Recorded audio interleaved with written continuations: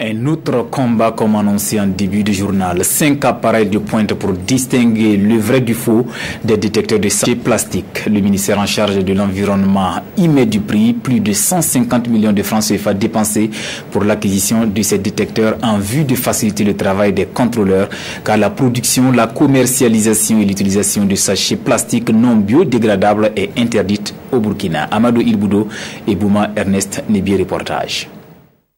Dans le cadre de la mise en œuvre sur le terrain de la loi 017 qui interdit la production, l'importation, la commercialisation et la distribution des emballages et les sachets plastiques non biodégradables au Burkina, les contrôleurs du ministère en charge de l'environnement n'auront plus de soucis pour savoir si un sachet plastique est biodégradable ou non. Cet appareil qu'ils viennent d'acquérir permet de détecter avec précision les sachets plastiques biodégradables. Pour nous aujourd'hui, c'est de pouvoir tester l'authenticité, pouvoir prouver aux consommateurs que les sachets que nous utilisons sont biodégradables. Aujourd'hui, il fallait ces appareils pour éviter l'amalgame entre le consommateur le distributeur et le ministère de l'Environnement dans la mise en œuvre de la loi 017. C'est un appareil qui, selon les techniciens, est facile à manipuler et il est alimenté à l'aide d'une batterie.